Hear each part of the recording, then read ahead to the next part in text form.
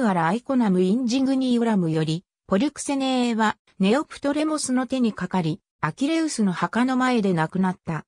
ポルクセネーはギリシア神話に登場する女性である。長母音を省略してポルクセネとも表記される。ポルクセネーはイーリオスの美しい王女で、トロイア王プリアモスと王妃ヘカベーの末娘である。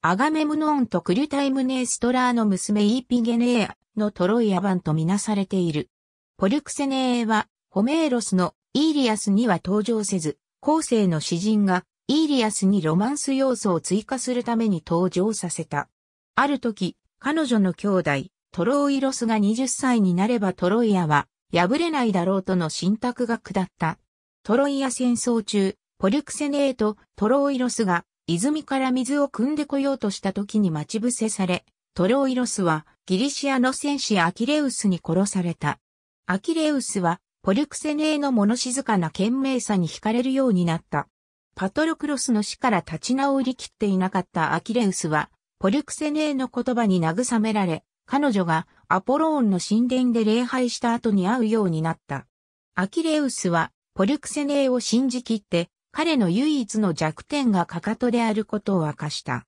後に、同じアポローンの神殿でポルクセネーの兄弟である、パリスとデイポボスがアキレウスを待ち伏せて、そのかかとに毒矢を打ち込んだ。これには、アポローンの加護があったとされる。アキレウスの死後、責任を感じたポルクセネーが、すぐ自殺したとする場合もある。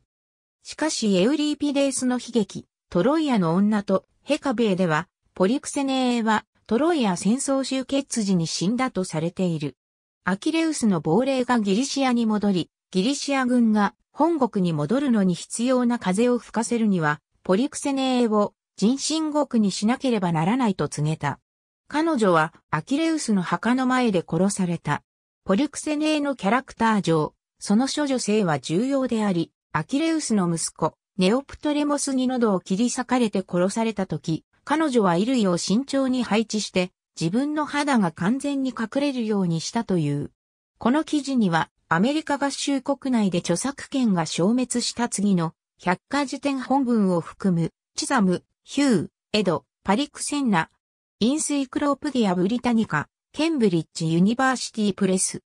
ありがとうございます。